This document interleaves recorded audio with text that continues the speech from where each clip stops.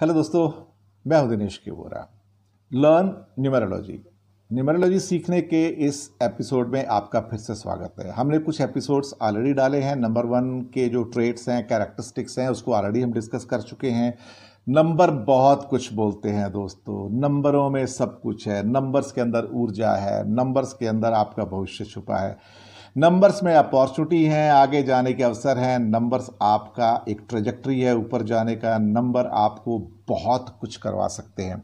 नंबरों में थोड़ा सा सुधार, थोड़ी सी क्या कह सकते हैं इम्प्रूवमेंट और एडजस्टमेंट और देखिए नंबर करते हैं चमत्कार।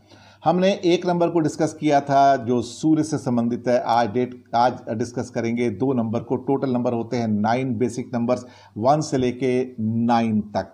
दो नंबर यानी कि, जी हाँ दो, एक, दो, तीन, चार, पाँच छः सात, आठ, नौ, और आज बात करेंगे दो नंबर की, जी हाँ नंबर दो की। नंबर दो का मतलब ये नहीं कि दो नंबर या चार नंबर, ऐसे नहीं, वो नहीं। दो नंबर मतलब वास्तव में जो व्यक्ति जिनका बर्थ नंबर दो है, उसकी बात कर रहे हैं हम।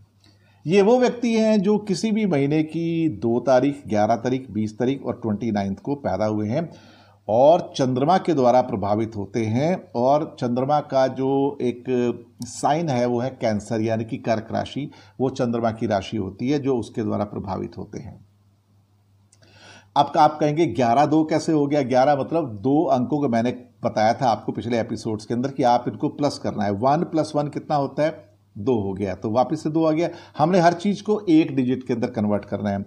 बीस को, बीस दो नंबर कैसे हुआ? टू प्लस ज़ीरो, यहाँ भी दो होता है। टू नाइन, जी हाँ ये टू नाइन अगर प्लस करेंगे, टू प्लस नाइन तो क्या आ गया? इसके अंदर टू प्लस नाइन का मतलब होता है ग्यारह, अब ग्यारह को फिर से हम ऐड करेंगे वन और बस दो डिजिट को तो बाकी बनता है दो।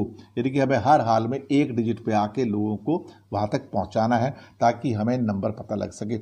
लेकिन दोस्तों, एक बात बताऊँ, जो व्यक्ति दो, ग्यारह, बीस और उनतीस को पैदा हुए, उनके भाग्य अलग अलग हैं। ऐसा नहीं है कि जो दो नंबर को पैदा हुआ, जो दूसरा दो नंबर है, ग्यारह नंबर या बीस या उनतीस उनके नेचर और प्रकृति एक जैसी है। नहीं फ़र्क होता है इनमें, सब में चारों की अपनी अपनी महत्ता है, यहाँ पर बिल्कुल महत्ता है जी। तो ये दो नंबर जो होते हैं, जो चाँद के द्वारा रूल्ड होते हैं, बहुत रोमांटिक होते हैं साहब। बहुत ज़्यादा प्यार मोहब्बत में इनकी काफ़ी रुचि होती है। जेंटल भी होते हैं, आर्टिस्ट तक होते हैं। संगीत से बड़ा प्यार होता है, पेंटिंग करते हैं या फिर कुछ स्कल्पटिंग करेंगे, कोई मूर्ति बनाएँगे। कुछ ना कुछ उनका दिमाग, जैसे क्या कहते हैं कि राइट ब्रेन। अब देखो, मैनेजमेंट में जैसे मैं पढ़ाता हूँ कि left brain and right brain. तो लेफ़्ट ब्रेन जो होता है वो लॉजिक का ब्रेन होता है, मैथमेटिकल ब्रेन होता है। राइट right ब्रेन होता है आपका आर्टिस्टिक ब्रेन, यानी कि जो आपको कला के साथ जोड़ता है।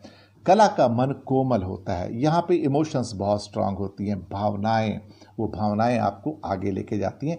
एक अलग किस्म का माइंडसेट हालाँकि भावनाएँ हर एक में होनी चाहिए, लेकिन दो नंबर के जो व्यक्ति हैं, दो नंबर के जो ख़ास तौर से जिसमें पर्सनालिटी नंबर में जो पैदा हुए हैं, उनकी बात कुछ अलग ही होती है। ये अपना अलग चरित्र लेके आते हैं, ये अपनी अलग सोच लेके आते हैं। और डिप्लोमेटिक भी हो सकते हैं, बहुत इमेजिनेटिव हैं, बहुत सोचते बहुत है इन्वेंटिव भी होते हैं। यानी कि नई नई चीज़ों की खोज कर करते हैं रिसर्च भी कर सकते हैं। इनकी इमेजिनेशन ऐसी है कि बैठे बैठे डे ड्रीमिंग करके कहीं से कहीं पहुँच जाते हैं। सपने बहुत देखते हैं ये लोग कि मैं ये बन जाऊँगा, मैं वो बन जाऊँगा। और वैसे भी काफ़ी लोग इसके अंदर बने भी हैं, मैं आपको बताऊँ। जैसे कि शाहरुख खान भी दो नंबर है। अमिताभ बच्चन साहब है, वो भी दो नंबर है। तो ये दो नंबर के व्यक्ति ऐसा नहीं कि कामयाब नहीं होते, बहुत बड़ी बड़ी कामयाबियाँ मिलती हैं इनको। लविंग होते हैं नर्चरिंग होते हैं, बहुत शेयरिंग नेचर के होते हैं। कॉपरेटिव भी होते हैं। जी हाँ बहुत ज़्यादा कॉपरेटिव होते हैं। स्टूडियस हैं पेशेंट भी हैं। कई बार बहुत वॉलेटाइल हो जाते हैं, देखा जाए तो ये बहुत वॉलेटाइल हो जाते हैं और रेस्टलेस बहुत होते हैं। इनकी दो नंबर की प्रकृति होती है कि कई बार बड़े घबराए से रहते हैं।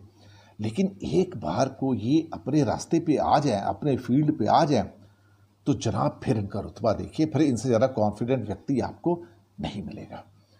क्या है कि इन्हें अपनी चीज़ को समझ आ जाए? और उसके प्रति एक तरह से वो बिल्कुल अंदर डूब जाए उसके अंदर, जिसे कहते हैं मेडिटेशन तो फिर तो हीरा बन के निकलते हैं। मैंने कहा ना, महात्मा गांधी भी देखिए, दो नंबर की पैदाइश थे, लेकिन कितने डिटरमाइंड थे, क्योंकि उन्होंने अपना रास्ता चुन लिया, अपना मेडिटेट किया और रास्ता चुन लिया, और उसके बाद उसमें चलते चले गए, फिर कोई रोकने वाला नहीं। अगर इन्होंने अपना रास्ता चुन लिया और उसको बिल्कुल एक तरह से कहा जाए कि मेडिटेशन की तरह आगे बढ़ना है फिर तो इनको रोकने वाला खुदा भी नहीं है, मैं आपको बताऊँ। ऐसे शाहरुख खान को देखिए, अमिताभ बच्चन को देखिए तो ये जो आप ये जो गुण पाएँगे, ये बड़े नायाब गुण हैं। हालाँकि कई बार आम लेवल पे ये लोग सफ़र भी कर जाते हैं। अप्स एंड डाउन्स बहुत आते हैं इनकी लाइफ के अंदर। जैसे कि आपने देखा होगा, अमिताभ बच्चन ने भी बीच में काफ़ी सफरिंग देखी थी। महात्मा गांधी के जीवन में बहुत उतार चढ़ाव है कई बार जेल भी गए, लेकिन अल्टीमेटली युग पुरुष बन गए। अमिताभ बच्चन को देखो, वो नायकों के नायक कहे जाते हैं। तो अप्स एंड डाउन्स तो होते हैं, लेकिन अंततः जीत उनकी होती है। थोड़े डरते ज़रूर हैं, लेकिन एक बार को मैंने कहा कि अपनी मेडिटेशन के द्वारा संवेदनाओं के ऊपर थोड़ा काबू पा लिया तो फिर ये लोग कहाँ पहुँचते हैं? फिर तो हिमालय को क्रॉस कर जाएँगे। हाँ आम तौर पे देखा गया कि इनके अंदर कंसिस्टेंसी की कमी है, थोड़े डर जाते हैं, थोड़े से माइंड जल्दी जल्दी बदल भी लेते हैं। और कई बार एक्सट्रीम बिहेवियर इनके अंदर देखना मिलता है, यानी कि कभी हॉट कभी कोल्ड ठंडा गर्म ये सब चलता रहता है, समझ में नहीं आता कि इनका अल्टीमेटली चेहरा है क्या, वो हो जाता है। तो मैंने बताया कि इमेजिनेटिव है इन्वेंटिव है कभी कभी इनडिसाइसिव हो जाते हैं, यानी कि डिसीज़न नहीं ले पाते हैं। ड्रीमर्स हैं हम्बल हैं म्यूज़िकल बहुत होते हैं, संगीत में बड़े सुंदर होते हैं, लोग बहुत सुंदर सुंदर संगीत बनाते हैं। आप सोचिए कि मज़ा आ जाता है सुन के। इमेजिनेटिव बहुत है ना, कल्पना लोक में रहते हैं तो और रोमांटिक भी हैं तो कहीं ना कहीं उसका जो जोड़ है, उसके साथ में आ जाता है। चंद्रमा चंद्रमा से प्रभावित हैं क्योंकि चंद्रमा की राशि है। दो नंबर चंद्रमा का है जो पर्सनालिटी होती है। चंद्रमा एक घर में अगर जोड़ी साइंस में देखें तो ढाई दिन के करीब रहता है और तीस दिनों के अंदर अपना चक्र पूरा करता है। तो देखा जाए तो जब चंद्रमा इतनी जल्दी चलता है, इतनी जल्दी चक्र बदलता है तो ये समझ लीजिएगा हुजूर की, फिर आपके अंदर भी वो बदलाव की जो एक प्रकृति होती है, ज़्यादा हो जाती है। यानी कि आप अभी कुछ और अगले पल में कुछ और उसके अगले पल में कुछ, लेकिन उसमें दोष आपका नहीं है, चंद्रमा का है, क्योंकि चंद्रमा एक घर में ज़्यादा दिन रहता नहीं और तीस दिन में पूरी की पूरी बारह राशियाँ पूरा कर जाता है, वहाँ पर देखा जाए तो।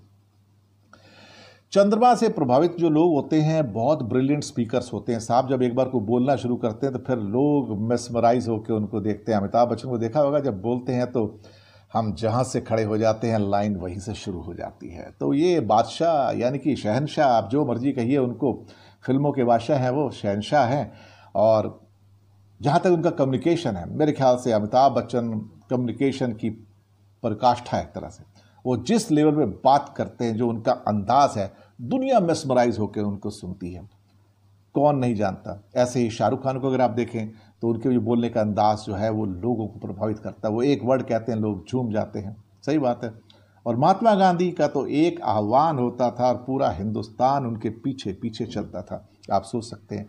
आर्टिस्टिक इंक्लिनेशन होता है, आप देख सकते हैं। कितने आर्टिस्ट हैं, दो नंबर पर्सनैलिटी के ट्रेट में आपको पाए जाएँगे। पीस लविंग होते हैं लेकिन, जैसे महात्मा गांधी, पीस लविंग, शांति। इनको लड़ाई झगड़े नहीं चाहिए। ये लड़ाई झगड़े से दूर रहते हैं। लेकिन लिबर्टी चाहिए इंडिपेंडेंस चाहिए स्वतंत्रता चाहिए कोई बीच में खलल ना डाले। अगर पेंटिंग बना रहे हैं स्क्लप्टिंग बना रहे हैं मूवी बना रहे हैं डायरेक्शन कर रहे हैं तो कोई इंटरफेयर ना करे। इन्हें कोई इंटरफेरेंस पसंद नहीं आता। तो ये अपने मन से चलते हैं। रविंद्रनाथ टैगोर जी थे। हालाँकि वो आ, उनका नंबर मुझे अभी ज्ञात ज्ञात नहीं है कौन सा नंबर था लेकिन बहुत बड़े आर्टिस्ट थे लेखक थे बहुत बड़े। सही बात है। तो इसका मतलब ये हुआ कि जो दो तारीख को दस तारीख को बीस तारीख को उनतीस तारीख को पैदा हुए तो वो लोग जो होते हैं दो नंबर की पर्सनैलिटी जी हाँ यही उनका बर्थ नंबर है और ये देखा जाए तो ये नंबर उनकी लाइफ को गवर्न भी करता है जिसको हम ड्राइवर नंबर भी कहते हैं यानी कि driver number birth number basic number birth number जो मर्ज़ी आप बोल लीजिए। तो ये इस ढंग से होता है। तो यहाँ पे हम चलेंगे सबसे पहले आ, अगले उस पर चलते हैं हम।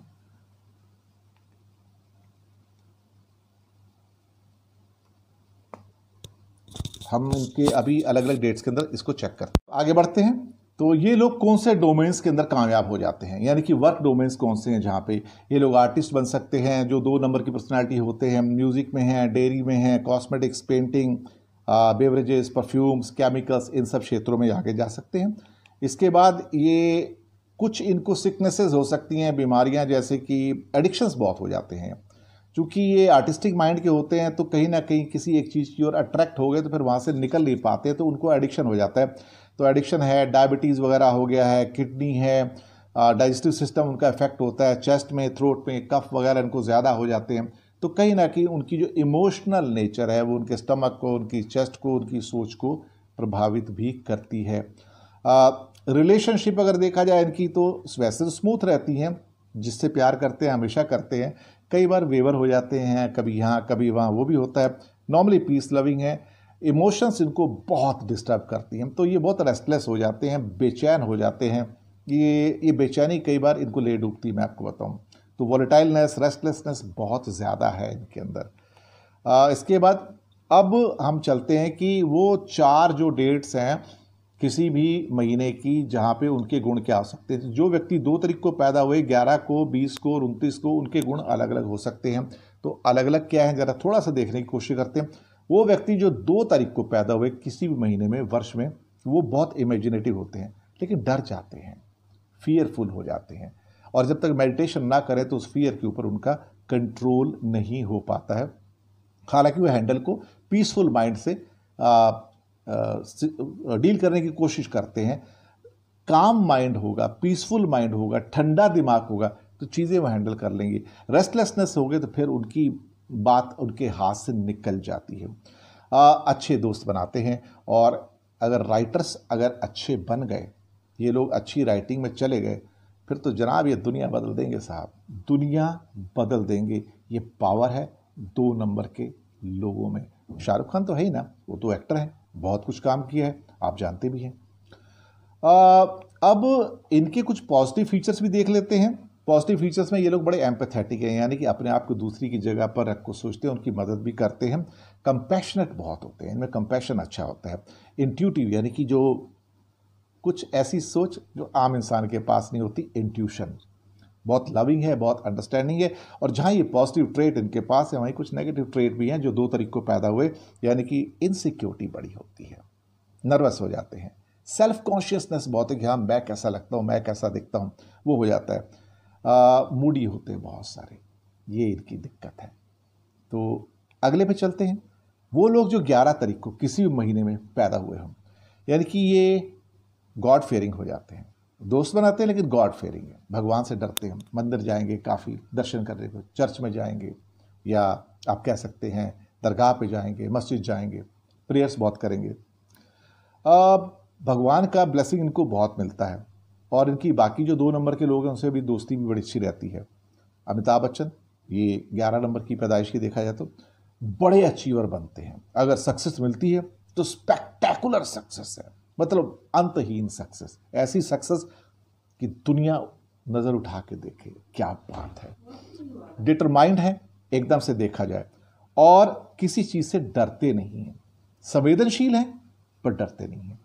और अगर इनके हम पॉजिटिव और नेगेटिव ट्रेड देख लें तो पॉजिटिव में इमेजिनेटिव बहुत है आइडियलिस्टिक बहुत है, आदर्शवादिता बहुत होती है परसुएसिव यानी किसी चीज़ को परसू बहुत करते हैं स्पिरिचुअल होते हैं और फिर से इंट्यूटिव होते हैं, और ये अगर नेगेटिव ट्रेट में देखो तो प्रोक्रेस्टिनेट बहुत करते हैं पोस्टपोन बहुत करते हैं, चीज़ों को टाल देते हैं।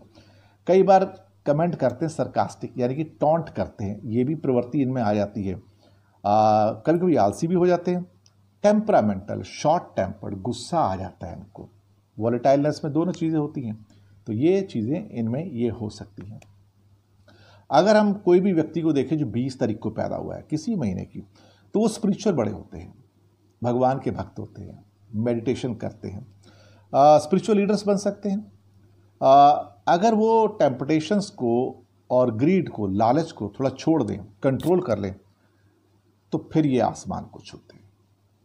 इसके अलावा उनको जो मटेरियल चीज़ें हैं बेहतरीन घर के अंदर साज सज्जा की जो चीज़ें होती हैं वो बड़ी पसंद आती हैं। उनसे बड़ी मोहब्बत है उनको। चाहे वो अच्छा टीवी हो अच्छा फ्रिज हो अच्छे पर्दे हों अच्छा फर्नीचर हो, अच्छी चीज़ें हों, ये सब लेना पसंद करते हैं। अगर इनके गुण देखे जाएँ तो पॉजिटिव में ये बड़े ह्यूमरस होते हैं, यानी कि ये थोड़े हँसी मज़ाक कर लेते हैं, बड़े आराम से जो 20 तारीख को पैदा हुए हैं। सिंपथेटिक होते हैं लोगों के साथ में चार्मिंग बहुत है हैंडसम होते हैं साहब ब्यूटीफुल होते हैं बहुत अफेक्शनेट मोहब्बत करने वाले होते हैं, प्यार करने वाले होते हैं इमेजिनेटिव तो होते ही होते हैं। अगर नेगेटिव जाएँगे तो ये लोग टॉन्ट बहुत कर देते हैं, यानी कि सरकाज्म बहुत है उसके अंदर। कभी कभी खुद के ऊपर ही दया दिखानी शुरू कर देंगे अपने बैठ के। तो क्रिटिसिज्म बहुत करते हैं इसके अंदर। बहुत बार ऐसा होता है कि ये लोग अनरियलिस्टिक हो जाते हैं। यानी कि कल्पना लोग की दुनिया में चले जाएँगे और इरेशनैलिटी इलॉजिकल एक बात करते हैं, जिसका कोई न सिर होता है, ना प्यार होता है। और एक्सपेक्टेशंस को आकाश पे ले जाते हैं ड्रीमर्स बन जाते हैं, फिर पूरा कर नहीं पाते। तो क्या करेंगे साहब? चलिए, चलते हैं अगले उस पर वो व्यक्ति जो किसी भी महीने की ट्वेंटी को पैदा हुए ये आर्गूमेंट बहुत करते हैं।